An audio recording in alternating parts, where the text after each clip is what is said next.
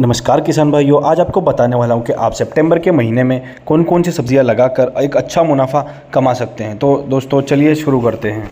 तो दोस्तों, मैंने इन सितंबर में लगने वाली 10 से 15 सब्जियों को टोटल आठ भागों में बांटा है। यानी मल्टी क्रॉपिंग के ज़रिए आप किस तरीके से एक अच्छी इनकम इस सितंबर के महीने में करेंगे, मैं आपको इस बारे में आज बताने वाला हूँ। पहले है ग्रुप ए ग्रुप ए में है मेथी, पालक और धनिया। जी हाँ धनिया, पालक और मेथी तीनों ही एक नकदी फ़सल है, जो कि बहुत ही कम समय में आपको हार्वेस्टिंग देती है और आप इससे एक अच्छी इनकम बना सकते हैं। दोस्तों, एक बात का ध्यान रखें कि मौसम देखकर बुआई करें, जिससे अगर आपके बीज डालने के बाद अगर पानी गिरता है तो बीज के जर्मिनेशन में बहुत ही समस्या होगी और बीज कम उगेगा, जिससे आपकी जगह खाली रह जाएगी और जगह खाली नहीं रहेगी तो पालक आपको 20 से 25 रुपए किलो और धनिया 60 से 100 रुपए किलो के बीच में भाव मिलेगा, जिससे आपका एक अच्छा मुनाफा बनेगा।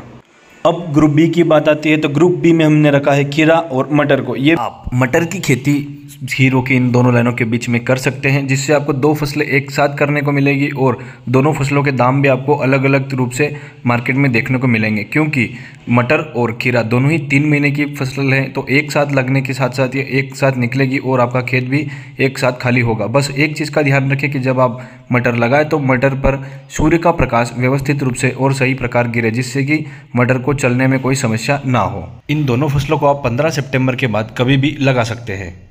अब हम आते हैं फूल गोभी और मेथी पर, यानी ग्रुप सी में। तो ग्रुप सी में हमने इसको इसलिए रखा है क्योंकि आप इन दोनों ही फ़सलों को एक साथ कर सकते हैं, एक ही क्यारी में।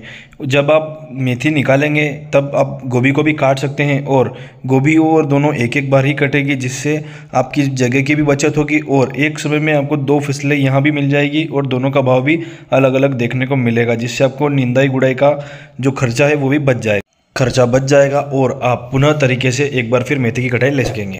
दोस्तों, हमने ग्रुप डी में शिमला मिर्च और गेंदे को रखा है। गेंदे और शिमला मिर्च को चुनने का कारण है कि जो शिमला मिर्च में रीज़न आता है जड़ों के बंधने का, उसी को जो गेंदा फूल होता है वो अपने जाल में फंसा कर निमाटोड्स को मार देता है और निमाटोड्स गेंदे फूल का भोजन भी है। और गेंदे के फूल जो पीले कलर के होते हैं तो पीले कलर के गेंदे के फूल मच्छरों यानी जो ऊपरी कीट्स होती हैं उनको भी अपनी तरफ़ अट्रैक्ट करते हैं जिससे आप एक अलग तरीके से अपनी फ़सल को बचा भी सकते हैं और किसान पपीता के दोनों लाइनों के बीच में भी गेंदे के फूल को लगाकर अपनी फ़सल को निमाटोड जैसी भयंकर बीमारी से बचाते हैं। तो आप पपीता में भी गेंदे के फूल को लगा सकते हैं। ग्रुप ई में हमने रखा है पत्ता गोभी और लेटस को। पत्ता गोभी और लेटस दोनों ही अच्छी फ़सलें हैं। ठंड के मौसम में दोनों ही फ़सलें अच्छी चलती है और रोग और कीट इनमें कम आते हैं। अगर आपकी नर्सरी तैयार है तो आप अभी भी ट्रांसप्लांटिंग सितंबर में कर सकते हैं और अगर अभी आपकी नर्सरी तैयार नहीं है तो आप सितंबर में नर्सरी लगा भी सकते हैं। अगर अगर आपके एरिया में लेटस नहीं बिकता है तो आप लेटस को छोड़कर दूसरी फ़सल लगा सकते हैं,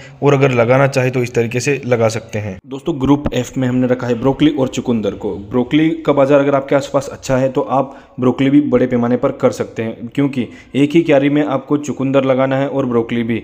ब्रोकली जो क्यारी में आप लगाएँगे, उसी क्यारी के मेड़ों पर आप चुकंदर के बीज को डालकर अच्छे और बड़े पैमाने पर चुकंदर का उत्पादन भी लेंगे और अच्छे भाव पर बेचेंगे भी। क्योंकि दोनों ही फ़सलों का समय सेम है तो आप इन दोनों को लगाएँगे भी साथ में और निकालेंगे भी साथ में। दोस्तों ब्रोकली में हाई प्रोटीन पाया जाता है जिसकी वजह से शहर के लोग काफ़ी खाना पसंद भी करते हैं। प्याज दोस्तों ग्रुप जी में हमने रखा है प्याज और लहसुन को। प्याज और लहसुन एक ऐसी फ़सल है जो कि कैश क्रॉप में रूप में भी जाती है और लंबे भाव कर रोक कर भी जाती है, क्योंकि अगर आप प्याज को मात्र नर्सरी के बाद थोड़े दिनों में ही उनकी कंद हल्की हल्की बनने लगे और बेचते हो, तब भी आपको मार्केट रेट बहुत अच्छा मिलता है और लहसुन में भी जब थोड़ी थोड़ी कंद बनती है और आप बेचते हो, तब भी उसका मार्केट रेट आपको अच्छा मिलता है, जिससे कि आप एक अच्छी आमदनी कमा सकते हो, गीले वज़न में और वज़न ज़्यादा उतरता है, अगर भाव कम भी मिले तो भी आपका सब्ज़ी के बराबर का भाव आपको मिल जाता है। किसान वीर, अगर वीडियो अच्छा लगा हो तो वीडियो को लाइक ज़रूर करें चैनल को सब्सक्राइब करें।